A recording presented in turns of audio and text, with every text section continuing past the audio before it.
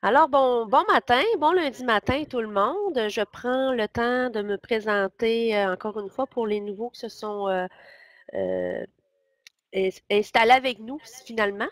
Mon nom est Stéphanie Baudette, je suis, la, je conseillère d'orientation à l'éducation des adultes et à la formation professionnelle. Ça fait une quinzaine d'années que je suis ici à la commission scolaire de l'estuaire à Bécomo. Donc, ce matin, on fait la communauté, la deuxième rencontre de la communauté en orientation qui maintenant va s'appeler la communauté orientation SARCA, euh, parce qu'on intègre également euh, euh, tout le, volet SARCA afin d'éviter que ce soit redondant, les, questionnements. donc, d'intégrer la, communauté SARCA en orientation, et moi, je, trouvais que ça avait extrêmement du sens. Donc, bienvenue à tous et à tous les nouveaux et, les anciens de la deuxième rencontre voyez qu'il y avait un, a un document collaboratif lorsque je vous ai envoyé l'invitation. Ce document collaboratif-là, euh, tout le monde est amené à pouvoir euh, écrire à l'intérieur euh, parce qu'il est partagé. Si ce n'est pas le cas, vous pouvez m'envoyer un courriel à ce moment-là, mais normalement, tout le monde peut inscrire leur questionnement, leur présence à l'intérieur de ce document-là. c'est aussi, entre autres, un document qui nous sert de rappel euh, les notes qui ont été prises de la, rencontre précédente. Donc, c'est très utile là, pour tous. c'est sûr que c'est important si on veut que ça soit euh, dynamique et pour faciliter l'échange, qu'éventuellement peut-être demander euh, ou à l'informatique d'avoir l'accès à une caméra web ou un casque d'écoute. parce que ça, ça, rend un peu notre communauté beaucoup plus dynamique quand chacun peut, à ce moment-là, poser ses questions, dire des commentaires ou quoi que ce soit. Parce que moi, mon rôle, c'est un rôle d'animation, je, le répète. Euh, ce n'est pas, mon rôle d'apporter euh, tout le temps les sujets. C'est vraiment, c'est comme si on était une, en grande rencontre d'équipe ensemble et on faisait un point, un, point sur, bon, qu'est-ce qu'on aurait besoin? Dans le fond, c'est ça, un peu mon rôle, c'est de ramener tous ces questionnements-là. Donc, cette communauté va être dynamique si tout le monde, dans le fond, y apporte là, ses questionnements et ses commentaires. J'avais une invitée spéciale que je voulais présenter, Madame, Jacques. Donc, elle voulait nous entretenir quelques minutes. C'est la vice-présidence de la KIFGA. donc, elle voulait nous parler de la rencontre pré-à KIFGA. donc, je vous laisse la parole, Madame Jacques, et excusez-moi. c'est moi qui suis embarrassée, vraiment. Je vous interromps alors que la discussion allait bon train, puis je vais assister à toute la rencontre. Ça me semble passionnant et je reconnais quand même pas mal de noms euh, dans votre équipe. Euh, à titre de vice-présidente de la KFGA, en fait, ce que je voulais vous euh, rappeler à tous et vous proposer pour ceux qui ne le sauraient pas, c'est qu'il y a une salle qui a été mise à votre disposition pour toute la journée, la journée précédente de la KFGA, donc le mercredi précédent, ce qui nous met le 24, de 8h à 17h. Une salle est à votre disposition pour vraiment discuter de tous les sujets qui vous préoccupent dans votre domaine de 8h à 17h. Il y aura sur le site de, la KFGA bientôt euh, les formulaires d'inscription qui seront rendus disponibles par euh, notre président Martin. Euh, les seuls coûts associés à ça, c'est devenir membre de l'association. C'est un coût de 40 par personne et vous avez la salle toute la journée. Et puis, c'est peut-être une occasion aussi pour certaines et certains d'entre vous de vous joindre à nous pour le congrès des jeudis et vendredis suivants. Alors, je ne vous prends pas plus de temps que ça. Donc, euh, si nous entrons dans le vif du sujet, euh, à la dernière rencontre, on avait quand même ciblé euh, plusieurs points, sujets qui nous, nous interpellaient, nous, dans notre travail. on avait décidé d'un commun accord ensemble de peut-être cibler un thème commun et que chacun pourrait après ça apporter ses questionnements, ses partages ou quoi que ce soit um aussi, s'il y a des questionnements, c'est important de les, écrire parce que normalement, à chaque rencontre, euh, il y a euh, des personnes responsables au niveau du ministère de l'Éducation qui sont là. Et c'est sûr que pour eux, pour euh, pouvoir nous répondre, c'est préférable que ces questionnements-là apparaissent dans le document collaboratif un peu avant la rencontre. C'est pour ça que quand je vous avais invité là, de mettre votre questionnement et que je mettais une date limite, ben, c'est un peu aussi pour que chacun d'entre nous, on puisse se préparer si on a des choses à partager etc. lors de la dernière rencontre, c'est ça, j'avais j'avais ciblé un thème du jour euh, suite à tous nos échanges. Et le thème du jour, c'était faire émerger ou maintenir la motivation et la, persévérance chez nos gens, chez nos élèves.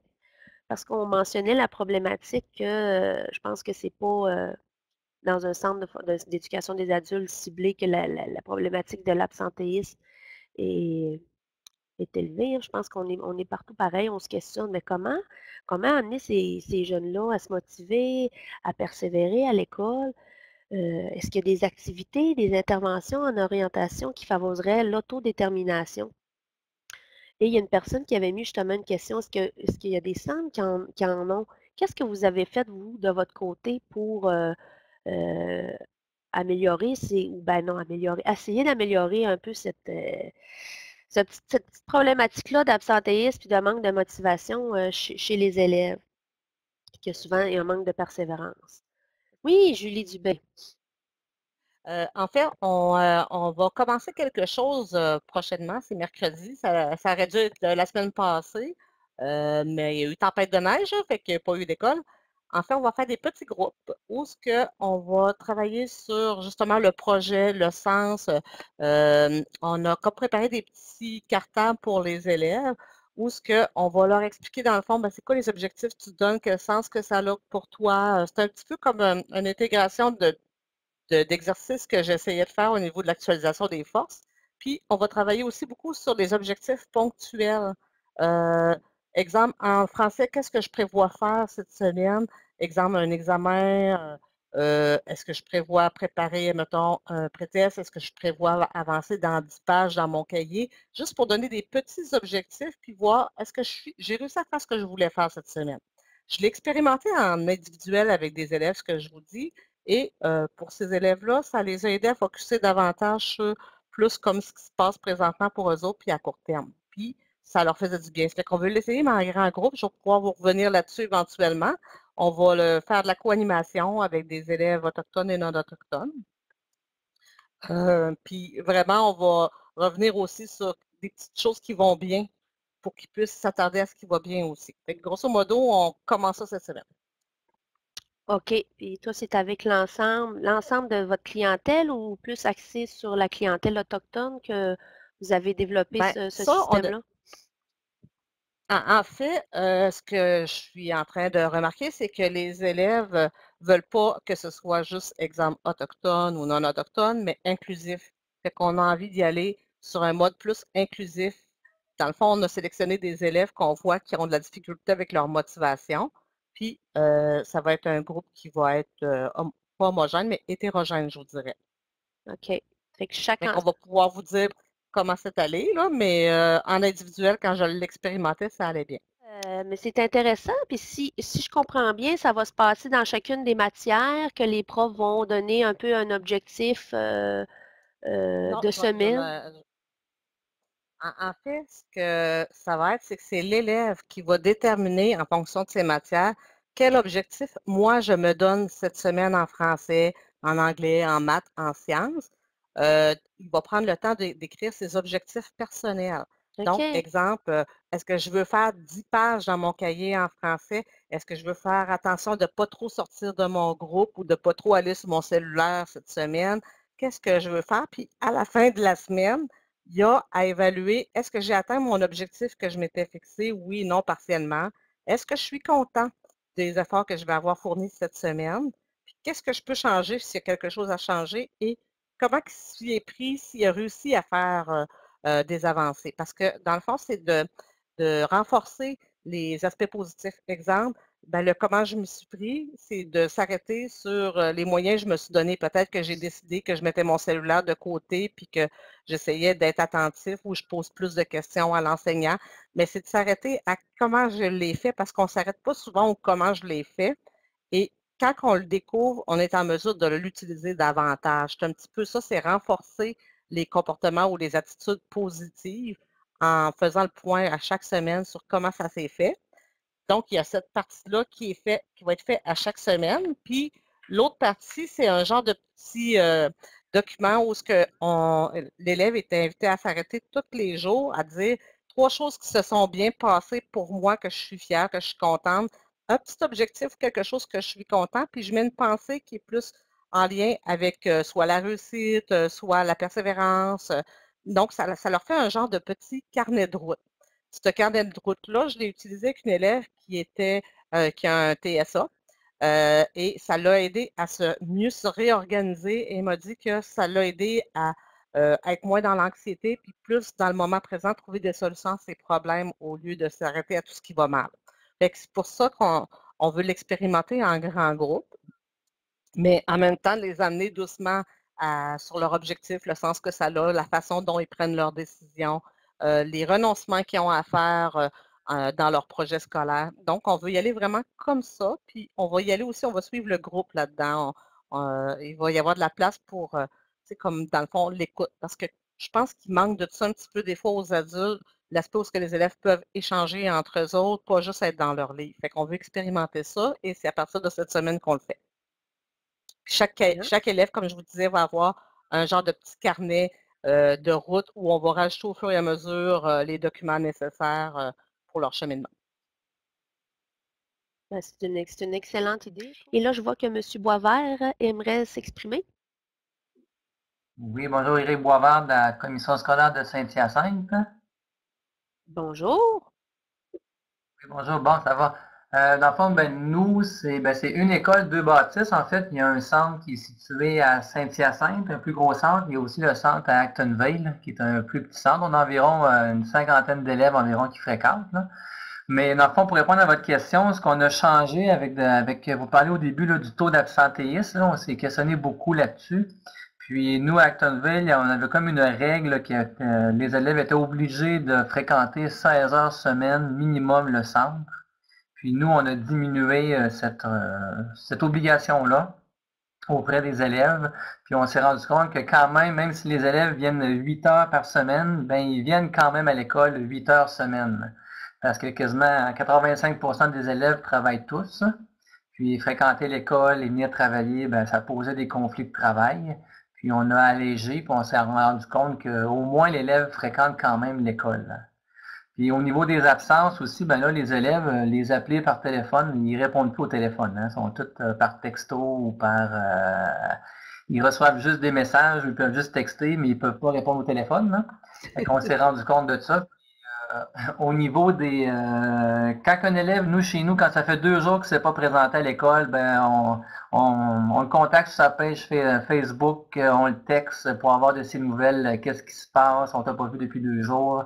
Puis c'est comme ça qu'on fait beaucoup de relances, puis on arrive au moins à tenir un lien avec nos élèves. Il y en a pour qui, bon, euh, j'ai arrêté l'école, il faut que je travaille trois semaines, mais au moins on est au courant. Puis euh, des fois, on se rend compte que l'élève va quitter pour euh, n'importe quelle raison, mais des fois, bon, as-tu pensé à faire ton équivalence ou faire ton TDG, viens me revoir, on va jaser de ça, ça n'engage à rien, fait que soit qu'il vienne me rencontrer ou il vient rencontrer le psychoéducateur.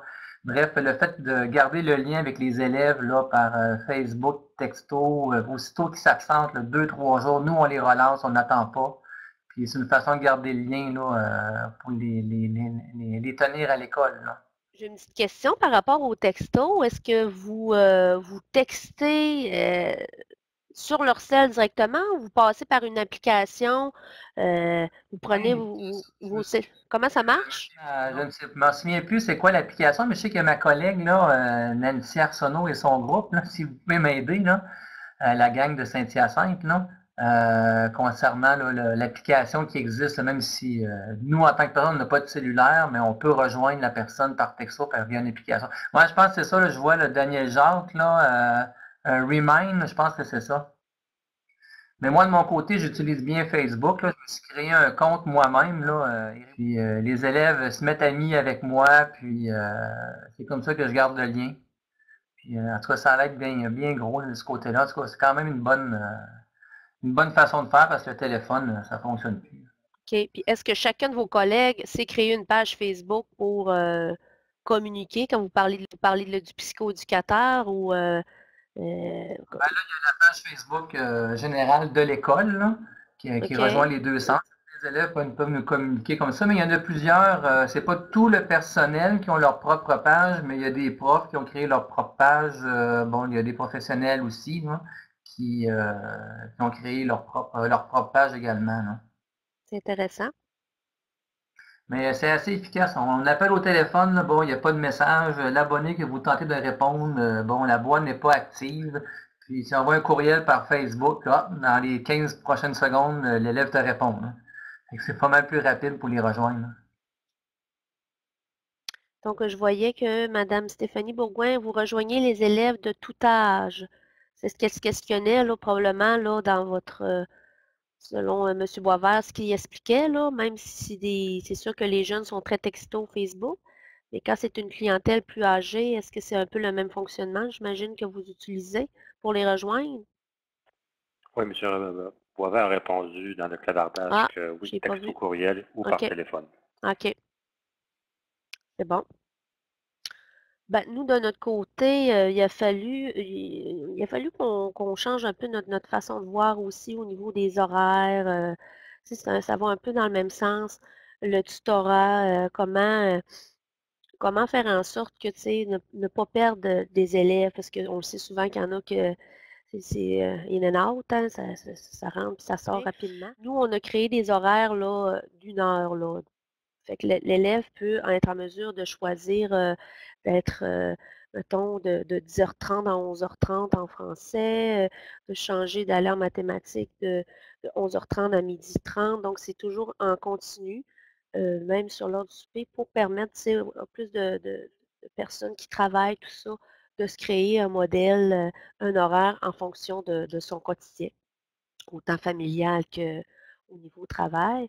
Et on a créé aussi un système de tutorat où ce que chaque enseignant doit euh, s'occuper euh, d'une liste, d'une certaine liste d'élèves. Donc, euh, minimum rencontrer que ça aille bien ou pas. A un élève en difficulté, en difficulté ou pas, il doit suivre l'élève, euh, je vous dirais par mois au moins, avoir des rencontres là, ou deux semaines là, avec cet élève-là pour voir son cheminement, puis voir son évolution. Et j'ai bien aimé aussi le, le- le- le princi- le principe de l'auto-évaluation de, de Julie à cette île.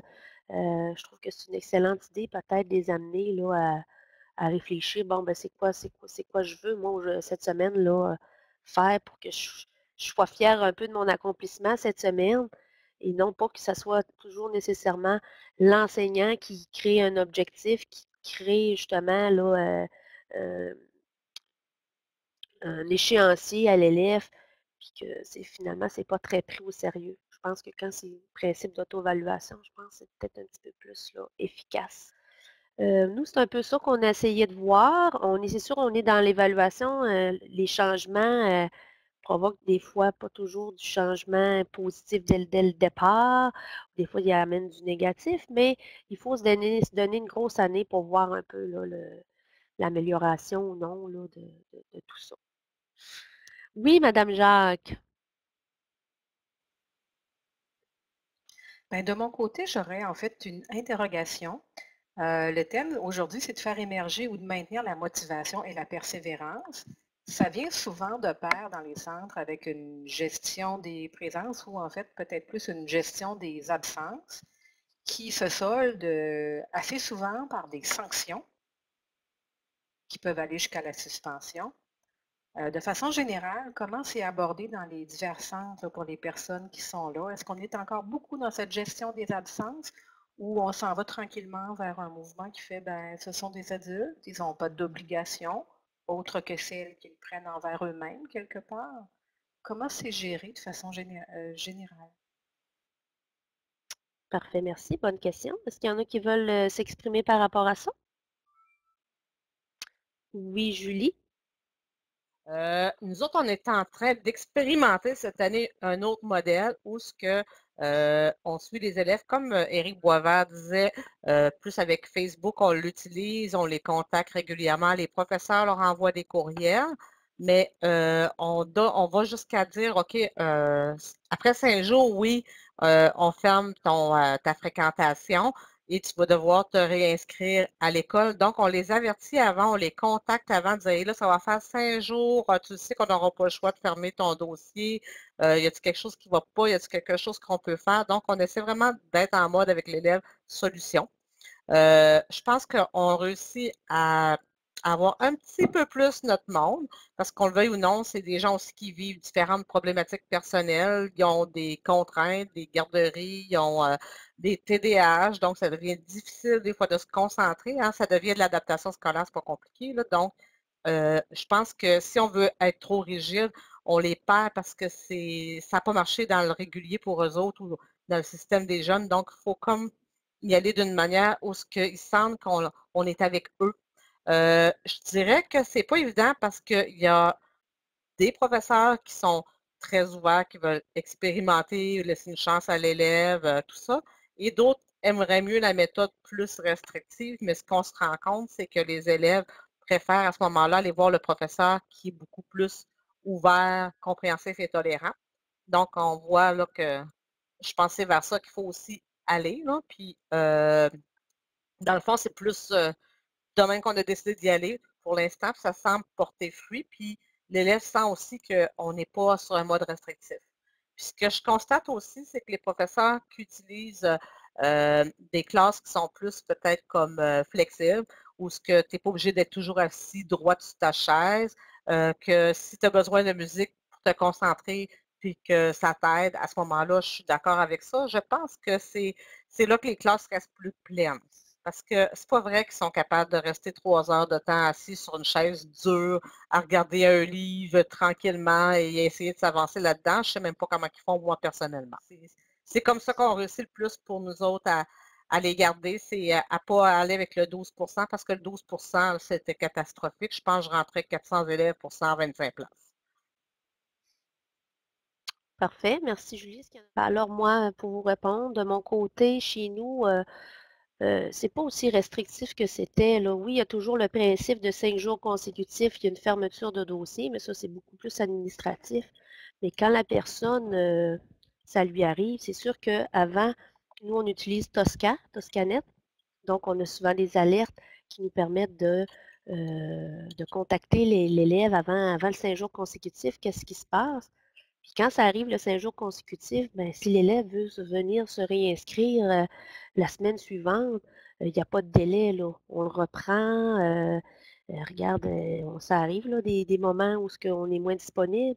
On sait que notre, clientèle n'a pas toujours un parcours là, très linéaire. Là. Donc, il y, a des sanctions de, suspension, quoi que ce soit. Oui, il y a une fermeture de dossier, mais on réactive la semaine d'après sans problème et l'élève revient en classe. Et aussi pour favoriser la motivation, nous, on essaie aussi le plus possible d'amener l'élève à avoir un projet de formation qui vienne me voir en orientation ou quand il rencontre la conseillère Sarka, souvent, elle peut, elle, le, référer. Nous, on donne le sigle choix de métier et vers un choix professionnel. Donc, euh, quand l'élève est intéressé à suivre une formation pour l'amener à, explorer tout ça, dès son début de formation, il va suivre, il va entrer dans cette cohorte-là pour l'aider à établir un projet de formation, que ce soit un projet professionnel ou quoi que ce soit, mais l'amener déjà à explorer. Sinon, ben, il est référent en orientation quand il préfère plus là, avoir une démarche individuelle. C'est un peu comme, comme, on fonctionne ici là, pour nous amener à, garder nos, jeunes. Est-ce que ça répondait un peu à votre besoin, Madame Jacques? Oui, parfaitement. Je vous remercie beaucoup. Et, je sens qu'il y a un changement d'attitude, en fait, hein, qui, euh, qui semble prendre forme ou est-ce que, bon, on s'en va moins vers la rigidité? On a des contraintes, mais elles sont strictement administratives.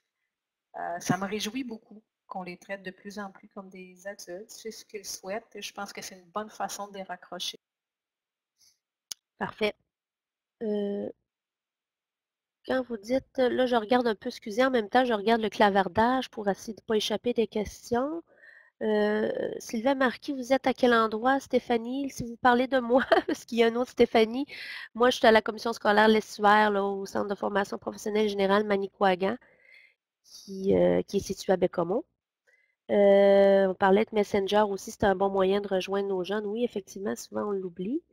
Euh, est-ce qu'il y en a d'autres qui auraient des questions par rapport à, notre sujet d'aujourd'hui? Mais ça peut, euh, ça peut déborder sur plein, d'autres choses. Ça peut aller sur la sanction. Qu'est-ce qui vous questionne aujourd'hui? Oui, j'ai entendu une petite main. Attendez que je vois. Oui, si, je peux me permettre, Stéphanie, il, y a, un message, de Mme Julie Tremblay qui dit Nous discutons de la gestion des présences et absences, mais comment travailler sur la motivation intrinsèque de l'élève? Oui. Pourquoi s'inscrire-t-il dans la formation Oui, d'accord. On garde ça en tête. On, on, va aller voir M. Pierre Martineau et on revient avec la motivation intrinsèque, effectivement. Oui, M. Martineau, vous voulez vous exprimer? Ben pour ce qui est de la, motivation, euh, c'est quand même multifactoriel, euh, tout ça. Nous autres, dans notre centre moi, je travaille au CDFM Huron-Wendat, à Wendake, clientèle autochtone. Euh, c'est sûr que la motivation, quand on arrive aux adultes, c'est de l'enseignement qui est individualisé. Fait que c'est plus difficile de trouver la motivation. Puis quand une personne arrive aux adultes, bien souvent, c'est parce qu'ils ont connu toutes sortes de difficultés dans le passé. Fait qu'il faut avoir une souplesse un peu plus grande, comme il y en a qui ont parlé tantôt. Ça, c'est sûr et certain que Salem, on ne peut pas garder la même euh, rigidité qu'au secteur des jeunes. Là, on a affaire à des adultes, c'est plus des jeunes. Puis nous autres, ce qui aide beaucoup, c'est qu'on a un système de tutorat, euh, que les profs font un suivi plus régulier avec les étudiants pour voir la progression se donner des objectifs à court terme aussi. Ça, ça l'aide. Puis, euh, ce qui aide beaucoup aussi, euh, c'est qu'on a des intervenants sociaux. On a une travailleuse sociale, une, psycho psychoéducatrice aussi. Fait que ces, gens, ces, ces deux personnes-là travaillent vraiment sur euh, les problématiques que nos étudiants vivent. Fait que ça, ça aide vraiment beaucoup, beaucoup là, à la persévérance scolaire et à maintenir la motivation de venir à l'école. Parce que si on ne règle pas leurs problématiques personnelles, souvent, c'est ça qui fait en sorte que les étudiants vont abandonner. Fait que ça, en ce cas, selon moi, chez nous, c'est un, un, facteur vraiment important. Fait qu'à travers cette démarche-là qu'ils font au niveau plus personnel, ben, il y a plein d'activités qu'on tient dans le centre aussi euh, pour maintenir la, motivation, pour maintenir le goût à l'élève de venir à l'école. Il ne faut pas qu'il fasse uniquement de l'académique. Il euh, faut qu'il ait la chance de pouvoir toucher à différentes choses euh, dans la semaine pour euh, vraiment maintenir cette motivation-là. Fait que nous autres, on travaille sur plusieurs euh, aspects différents. il y a des visites de CFP qui se font, il y a des conférenciers qui viennent, il y a toutes sortes d'activités qui sont organisées tout au long de l'année. On a des activités aussi plus culturelles, traditionnelles Première Nation.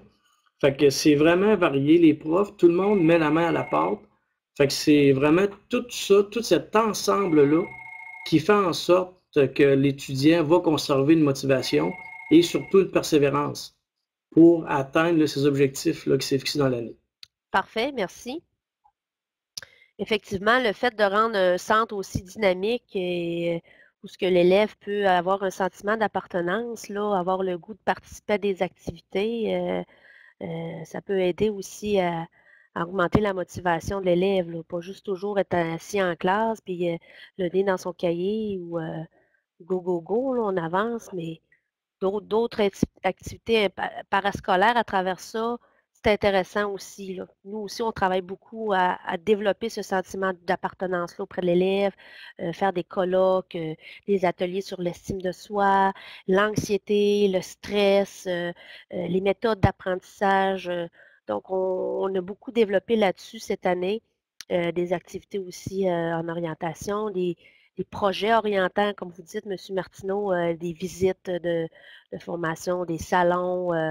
donc, on en a beaucoup d'activités orientantes ici à la commission scolaire l'Estuaire. Donc, tous ces élèves-là sont, sont, amenés à y participer parce que souvent, l'éducation des adultes, en tout cas moi, de ce que j'ai vécu, ils étaient un peu mis de côté dans les activités, mais là, maintenant, euh, ils sont invités, ils participent et là, ils se sentent un peu plus euh, appartenir au centre.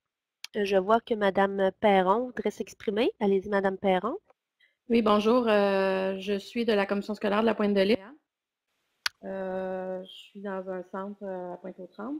en fait, je fais beaucoup d'activités pour les élèves je me rends compte que j'ai de la difficulté à attirer les élèves que je devrais avoir. Ça veut dire que j'ai des élèves qui ont souvent déjà un objectif, qui sont déjà motivés à l'école, c'est eux qui participent à mes activités. Donc, ce n'est pas eux que je veux cibler. J'ai un problème à ce niveau-là d'essayer de de recruter mes, mes, élèves moins engagés, mais en même temps, ça fait du sens. Ils sont moins engagés, donc ils viennent moins dans ces activités-là. Donc, j'ai cette problématique-là que j'essaie de voir là encore comment je peux faire. Euh, c'est sûr que je peux les cibler, les, approcher, les inviter à, venir à mes activités. J'ai l'impression que c'est là-dedans que je m'en vais. Euh, donc, je ne sais pas s'il y a des gens qui ont des trucs par rapport aux activités. Euh, faire participer les bonnes personnes ou changer la, formule, c'est ce que je me dis aussi. Si je n'attrape pas les, gens que j'ai besoin d'attraper, il faut peut-être que je change mon, mon, ma façon, mon approche. Là. Euh, je suis d'accord que souvent, les élèves les plus motivés, c'est toujours eux autres qui ont envie de s'impliquer. Euh, à ce moment-là, ça pourrait-tu être de cibler ces élèves-là et leur dire, ben, on aimerait que tu participes à cette activité-là? Je pense que ça t'aiderait vraiment comme l'inciter à participer à l'activité euh, qui ferait du bien à cet élève-là. Parce que c'est vrai qu'ils se sentent, euh, ceux qui devraient être les plus concernés sont souvent ceux qui vont le moins participer. Fait que nous autres, ce qu'on a décidé, c'est de cibler des élèves pour qui telle activité serait peut-être avantageuse ou l'aiderait. Parce que euh, si j'attends que l'élève démotivés viennent, il y a des risques que ça ne se fasse pas. Oui, c'est une excellente idée. Ou bien d'aller directement, euh, moi je peux arriver et aller directement en classe, puis faire une activité, puis euh, sans qu'ils soient avertis, puis ils sont là, sont là, ils participent, là, euh, ils n'ont pas le choix. Dans le fond, c'est comme en quelque sorte les obliger, mais sinon, ils ne viennent pas, là, ils ont, ils ont, des intérêts par rapport à ça. C'est peut-être des, de, le faire par, euh, par c'est pas attendu, finalement. Est-ce qu'il y en a d'autres qui voudraient avoir des questionnements? La motivation intrinsèque, comment aller la chercher? Oui, Madame Perron, vous voulez euh, vous exprimer? oui, en fait, tantôt, j'avais, euh, c'est ce que j'avais oublié, c'est qu'on a fait un, pour le projet éducatif qu'on doit faire, on a fait un sondage auprès des élèves et euh, la très grande majorité de nos élèves ont dit avoir un sentiment d'appartenance très élevé au centre. Euh, je dirais 95% des élèves qui ont répondu ont dit avoir un sentiment d'appartenance très élevé. Et pourtant, ils ne sont pas plus motivés ni plus présents. C'était assez marquant. Ça nous a vraiment surpris. Les, enseignants euh, disaient complètement le contraire. Eux, ils avaient la perception que les élèves n'avaient pas un sentiment d'appartenance élevé. Ça nous a questionné. On se questionne par rapport à ça d'ailleurs en ce moment. Oui, effectivement. Pourquoi avoir un sentiment d'appartenance élevé, mais avoir toujours un taux d'absentéisme élevé? Comme Madame de Tasker disait aussi, les, accueillir avec un chocolat chaud quand il fait froid. Oui, c'est vrai, ça, ça, ça donne le goût aussi à un élève de venir à l'école, dire bon, ben, tu sais, je, je vais être accueilli, ça va être le fun aujourd'hui, même s'il fait froid, quoi que ce soit. Effectivement, c'est des, bonnes, des bonnes idées, ça. OK. Ben, bonjour, c'est encore moi. Ben oui. Euh, pour peut-être parler de la, motivation intrinsèque. Euh, tu sais, ce que j'ai remarqué euh, depuis que je travaille aux adultes, ça fait quand même plusieurs années, tu sais, souvent, notre clientèle ont connu beaucoup de difficultés dans le passé puis ils en sont venus à plus croire en eux autres. Fait qu'ils se ramassent à venir à l'école comme par obligation, mais ils n'y croient pas plus que ça. Fait que ce qu'on essaie de faire aussi beaucoup, c'est développer l'estime, mais c'est de les amener progressivement à leur faire voir qu'ils sont bons eux autres aussi, qu'ils ont un potentiel, par des petites victoires, de les souligner, de les relever à chaque fois. Puis, euh, comme ça, bien, ils viennent progressivement à croire en eux autres. Puis, quand ils commencent à croire en eux autres, ils sont capables de réussir, ben là, l'estime remonte, puis la confiance en eux autres remonte aussi. Fait que là, ils sont beaucoup plus euh, engagés dans leur projet parce que là, ils croient qu'ils sont capables de réussir. Quand ils arrivent au début, ils croient plus ou moins, fait que l'effort n'est pas là, c'est pas grave. De toute façon, moi, je suis pas bon. Ça ne donne rien de mettre un effort, je ne réussirai pas. Fait qu'il faut les amener à croire en eux autres beaucoup. Fait à partir de ce moment-là, là, ils commencent vraiment à s'impliquer plus dans leur projet, puis à avancer parce qu'ils savent qu'ils sont capables de réussir aux autres aussi. Fait que je pense que, en tout cas, c'est une partie, encore une fois, je pense, de la réponse, c'est de les amener euh, à croire en eux autres beaucoup. Oui, effectivement. Puis les amener à croire en eux autres, c'est de chaque petite réussite de leur mentionner, parce qu'il y en a beaucoup que l'école, hein, ils l'ont dans le collimateur, là, effectivement, ils ont toujours eu la difficulté et tout ça. Euh, et soit dit en passant, avant de laisser la parole à nous, dans la semaine de la persévérance, on fait comme des petites étoiles comme ça, là, chaque, chaque, chaque enseignant, professionnel, même dans le soutien, va écrire un message à l'élève puis qu'on affiche partout dans l'école. Donc ça, c'est très, très, très apprécié par nos élèves parce que c'est un message d'encouragement, qu'on voit qu'ils font des efforts, qu'ils continuent. Puis ça, c'est pour autant les élèves qui, ceux qui vont bien, puis ceux qui, qui, qui, qui vont moins bien. Mais quand ils voient un petit message, là, ah, OK, ah, ben, c'est aperçu que j'avais fait un effort pour telle, telle affaire. À ce moment-là, là, oups, c'est c'est un, petit sentiment là, positif, puis ça, ça lui donne un petit, un petit dernier regain là, pour continuer le, restant de l'année scolaire. Oui, bonjour Stéphanie, c'est Marlène Gagné à Ah, l'appareil. Ça oui, va bien? oui. Bonjour à Ah, tous. Oui, bonjour Marlène. Euh, je vais faire juste du pouce. euh, je ne sais pas si vous vous souvenez, à- au rendez-vous Sarcan du 6 décembre, j'ai fait la présentation des, euh, du nouveau programme Engagement vers sa réussite. Alors, à l'intérieur de ce programme-là, il y a cinq cours euh, qui touchent entre autres l'aspect motivationnel. Si je prends le premier cours qui est euh, démarche de formation, qui permet à l'élève de se situer dans son projet de retour à l'école.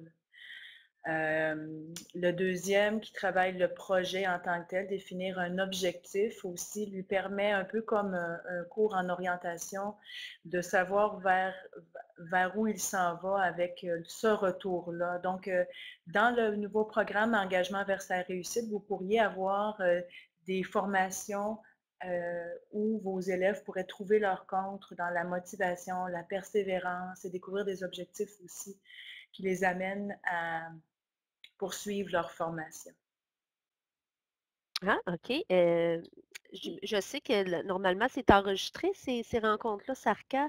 Euh, peut-être nous rappeler le lien parce que moi, je serais, j'ai probablement pas assisté à cette rencontre-là, euh, mais j'aimerais quand même là, euh, prendre le temps de l'écouter pour voir qu'est-ce qui en est sorti parce que je le connais bien. là. Ben, je le connais bien. J'en ai entendu parler du programme Engagement vers sa, vers sa réussite, mais j'aurais aimé avoir un Ah, peu le, le lien pour écouter cette, cette rencontre-là. En fait, tout, tout le matériel qui a été présenté lors du dernier rendez-vous SARCA se retrouve sous l'onglet SARCA dans le carrefour FGA. Euh, je pourrais mettre le lien dans le clavardage tout à l'heure si vous me permettez quel- quelques secondes. Et sinon, ben, le, le- le programme est actuellement disponible, le programme EVR, est sur le site du ministère. oui. Parfait. Merci beaucoup. Oui, puis on, on travaille présentement à, on a établi des contacts avec euh, quelqu'un qui pourrait présenter ce programme-là lors d'un après-cours. Donc, on va vous tenir au courant des, des développements ce Ah. OK. Un sujet, un sujet pour la, la- la prochaine rencontre. Qu'est-ce que vous aimeriez entendre là? De, de quoi vous aimeriez qu'on parle? Ah, euh, dans le clavardage, Madame Poulain, nous offrons des ateliers de groupe en maths français, sexologie, biologie, histoire pour faire changement des modules individualisés. Ah oui, ça, effectivement, c'est une excellente idée là, de, euh, de- d'y aller un peu en magistral, puis en, en discussion, que toujours être euh, toujours concentré dans son livre, là. Euh, des fois, ça peut être pénible, là. Je me mets un peu à leur place, là. Se ramasser en groupe avec sa, sa- gang de chums, puis faire un petit, atelier, là, ça peut être motivant aussi, puis ça, fait- ça, ça fait différent aussi. Oui, dans certains centres en Outaouais, on a fait aussi des cours de, de, de- de robotique. Donc, beaucoup d'élèves qui étaient en difficulté euh, étaient nos clients, parce que c'était volontaire. Et comme tu dis, c'était accompagné, mais c'était ils travaillaient en équipe. Donc, le fait de travailler en équipe aussi de deux, c'est très motivant. Et souvent, on faisait ça le vendredi. Donc, ces élèves-là qui souvent étaient absents le vendredi, c'était les premiers à arriver euh, parce qu'ils aimaient euh, l'activité. Donc, quand on peut trouver des activités qui vont les motiver aussi, ça aide aussi. Effectivement, ça l'aide beaucoup. Un cours de- sur la sexualité à trouver sur le site. OK, un cours, Daniel Jean, un des enseignants a développé un cours sur la sexualité. À retrouver, OK, la section pour faire suite au congrès. D'accord, oui, c'est intéressant ça, un cours. euh, C'est de trouver aussi des, des, des- des sujets qui les, qui les, qui les intéressent, hein, des matières qui les intéressent, là. C'est sûr qu'un cours de la sexualité chez nous, euh, euh, des fois, il y a des enseignants qui ne sont pas très à l'aise à, à donner euh, ces formations-là. Euh, ça, peut, ça peut être comprenable, mais si on voit qu'il y a du matériel, des fois, en, allant consulter le matériel, c'est peut-être pas si très difficile non plus ou gênant là, de donner cette formation-là. Les cours d'informatique, tout ce qui peut les amener un peu à développer d'autres compétences que le, français, l'anglais et les maths, parce que à un moment donné, c'est ça, Je comprends que ça peut les démotiver à la longue. Les cours d'éducation physique aussi, quand c'est la possibilité, là, hein, pour, nos, pour, nos, pour nos jeunes gars qui aiment bouger aussi, souvent, on n'a pas beaucoup de cours d'éducation physique à l'éducation. En tout cas, dans mon centre, l'éducation physique, là, ça n'a jamais existé. Qu'il y en a d'autres qui aimeraient proposer un sujet pour euh, notre prochaine rencontre? Parce que moi, si vous voyez dans l'ordre du jour, donc j'avais ciblé le 17 avril à, de 10h30 à 11h30. Euh, non, pour avril, moi, ça va, euh, ça me va bien. j'ai tout entendu et j'ai tout gobé les, les, commentaires qui ont été apportés et les suggestions. Beaucoup de ces actions-là sont faites dans notre centre. Mais ce que je trouve toujours le plus difficile, c'est effectivement d'aller recruter les élèves qui en ont le plus besoin. Des fois, il nous arrive en début d'année avec, on établit les profils, ils sont, on voit qu'ils sont bien intentionnés, mais tout meurt trop rapidement.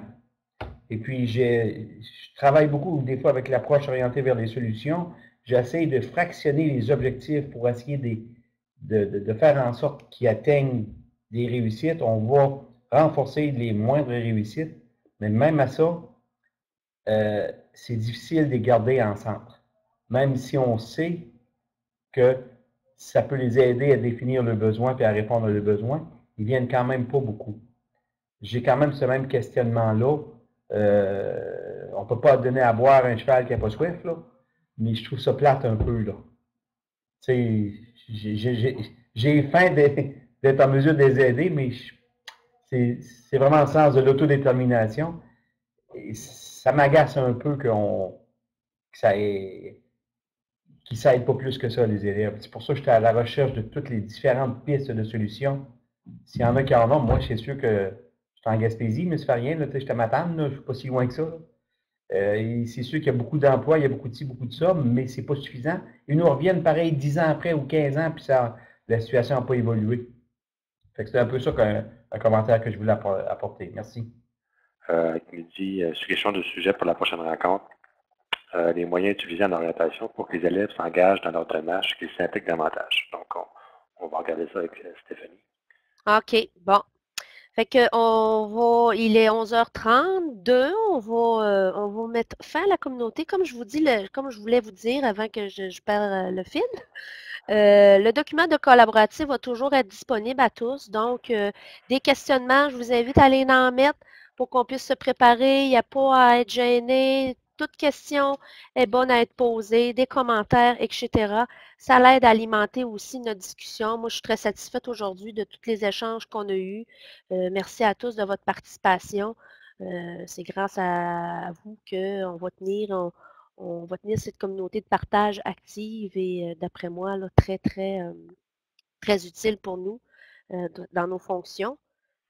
Et je vous remercie beaucoup de votre attention et je vous dis, euh, mettez à votre agenda le 17 avril. S'il y a changement, ben, je vous tiens au courant par courriel. Donc, euh, merci beaucoup.